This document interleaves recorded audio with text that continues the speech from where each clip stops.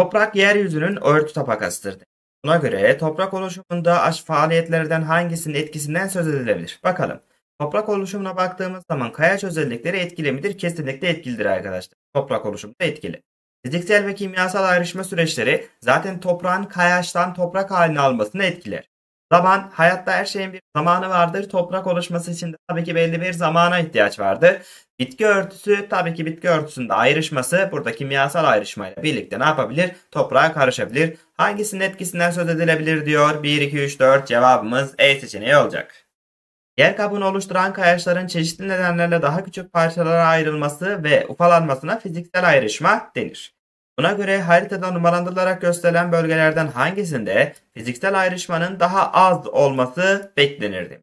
Değerli arkadaşlar fiziksel ayrışma kurak ve yarı kurak alanlarda bitki örtüsünün cılız olduğu yerlerde fazladır. Özellikle yağışın fazla olduğu bir numarada biz ne yaparız? Fiziksel ayrışmanın daha az, kimyasal ayrışmanın daha fazla olduğunu söyleriz. O yüzden burada bir numara olacak.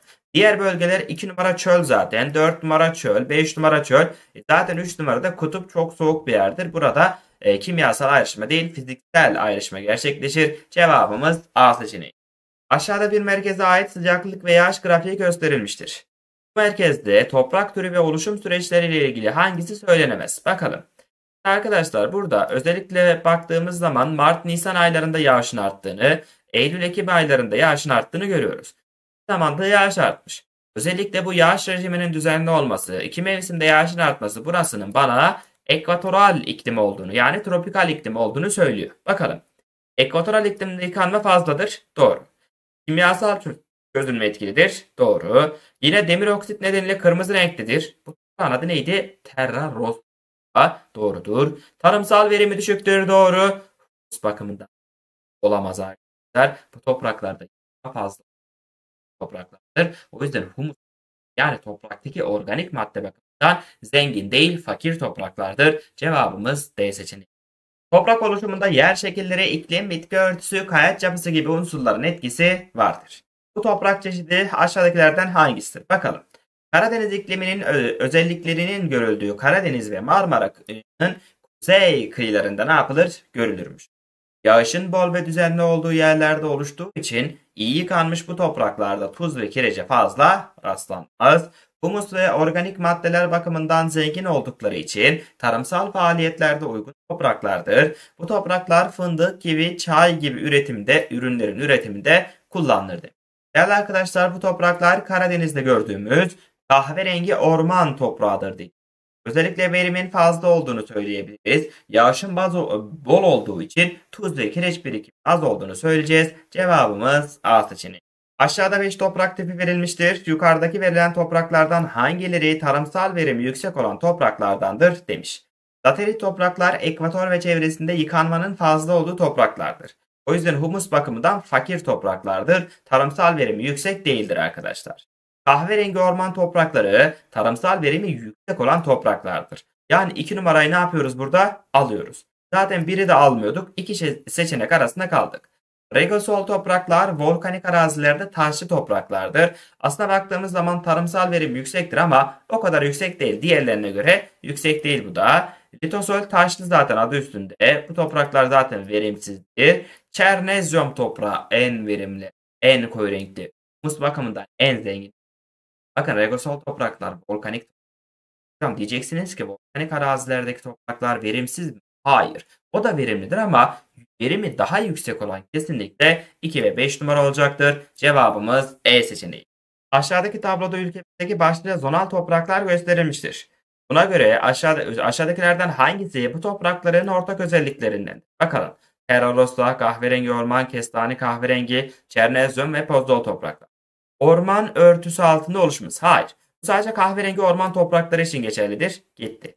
A, B, C, D horizonları vardır. Evet arkadaşlar bunlar zonal topraklardır. Zonal topraklar gelişmiş topraklardır ve bu topraklarda bütün zonları ne yaparız görürüz. Humus bakımından zengindir. Kahverengi orman toprağı böyle ve çernezyum toprağı böyledir arkadaşlar. Diğerleri bu kadar zengin değildir. Sıcak ve nemli bölgelerde yerleş gösterilmeli. Hayır. Delta ovalarında birikimle oluşan alüvyal topraktır. Zaten o azonal toprak alır git. Cevabımız B seçeneği. Bu yörelerde aşağıdaki verilen toprak türlerinden hangilerinin yaygın olması beklenir? Birinci yöreye baktığımız zaman özellikle sıcaklıkların eksi 10'a kadar düştüğünü ve yaz yağışı aldığını görüyoruz. O zaman hocam yaz yağışı alıyorsa, sıcaklık eksi 10'a kadar düşüyorsa birinci yöreye baktığımızda özellikle bu yörenin nedir? Soğuk bir iklim olduğunu söyleyeceğiz. Bakın laterit olmaz. Niye? Çünkü laterit ekvatordadır. Her mevsim yağış alır. Buraya bakıyorum Terra Rossa olmaz çünkü Akdeniz'dedir. Kış yağış alır. Bozkır toprakları olmaz çünkü daha çok ilkbahar yağışı alır diyeceğiz. İki toprak arasında kaldık. Ya tundra ya pozdol. Aradaki farkı bilemiyor musunuz? İkinciye bakın çok net bulursunuz. İkinciye bakıyorum. Yağış düzenli. Yağış rejiminin düzenli olduğu ilkbahar, sonbahar aylarında yağışın arttığını görüyoruz. Bunlar o zaman bunlar laterit topraklar değil midir? Kesinlikle. Ekvator ve çevresinde gördüğümüz topraklara biz laterit topraklar deriz. Diğeri de pozzol toprak. Zaten şuradan da bulurduk ama eksi 30 eksi 40'a kadar düşmesi lazım arkadaşlar. Ama ne yapalım? İkinci görelim dedim sizlerle. Cevabımız D seçeneği. Akdeniz iklim bölgelerinde kalkerli kayaların üzerinde zonal topraklardan biri olan terra yani kırmızı topraklar oluşur. Buna göre haritadaki numaralandırılmış bölgelerin hangisinde terra rossa toprak tipinin toprakların bulunduğu söylenemez demiş. Bakalım. Terra rossa topraklar Akdeniz bölgesinde görülen topraklardır. Bakın şurası Akdeniz Havzası burada görülür. Hemen çizgiyi çektiniz hop ABD Kaliforniya burada görülür. Orta Şili, Şili Santiago burada görülür. Güney Afrika Kap bölgesi burada görülür. Ve hemen şurada Güney Avustralya ve baktığımız zaman Avustralya'nın güneyi ve güneybatısı burada görülür. Ama 5 numarada görülmez çünkü burada muson iklim vardır arkadaşlar. Akdeniz toprağı görülmez. Cevabımız B seçeneği. Ülkemiz jeolojik yapısının farklılığı, yeryüzü şekillerinin çeşitliliği, iklim çeşitliliğinin fazlalığı ve bitki örtüsüne bağlı olarak toprak çeşitliliği de fazla olan bir ülkedir. Buna göre aşağıdaki toprak türlerinden hangisi Türkiye'de görülmez? Terra Akdeniz'de görülür. Kahverengi orman Karadeniz'de görülür. Kahverengili bozkır toprağı, step toprakları İç Anadolu'da, Güneydoğu ve Doğu Anadolu'nun bir kısmında görülür.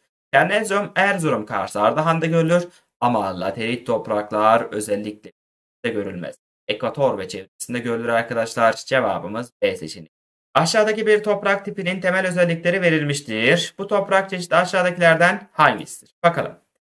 Yakın soğuk ve nemliliğin fazla olduğu bölgelerde iğne yapraklı ağaçlar altında oluşan gri renkli topraklardır. Bak sana kutba yakın diyor ya. Terrarosa toprakları gitti burada. Kutba yakın değil. Kahverengi orman toprağı gitti burada. Çünkü bunlar orta kuşaktadır. Yine Çernezyum toprağı orta kuşaktadır. İki şık arasındayız.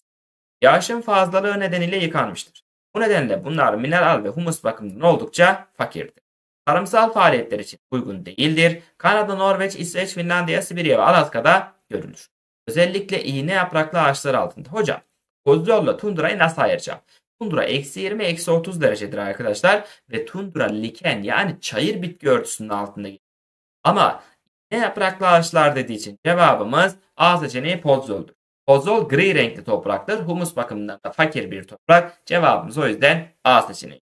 Aşağıdakilerden hangisi tahıl tarımına ve küçükbaş hayvancılığa çok uygun olan step ikliminin görüldüğü yerlerin toprak tipidir? Değerli arkadaşlar step iklimi İç Anadolu bölgesinde gördüğümüz karasal iklim içerisinde yer alır. Pozol toprakları daha çok dağların yüksek kesimlerinde iğne yapraklı ağaçların altında görürüz. Tundra toprakları daha çok 30 ila 40 derece enlemlerinde, şey 30 ila 40 derece sıcaklıklarında eksi 30-40 sıcaklıkta görürüz.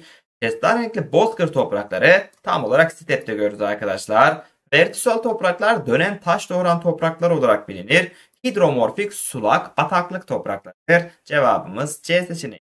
Aşağıdakilerden hangisi karasal iklimin yarı nemli bölgelerinde çayır bitki örtüsü altında gelişen topraklardır? Çayır bitki örtüsü altında gelişen topraklara baktığımız zaman özellikle yaz yağışları alan Erzurum, Kars, Ardahan'da gördüğümüz Çernezyum toprak. Çernezyum toprakları en koyu renkli, en verimli, humus bakımından en zengin topraklardır ve yaz yağışları ile yeşeren çayır bitki örtüsü altında gelişir. Cevabımız E seçeneği.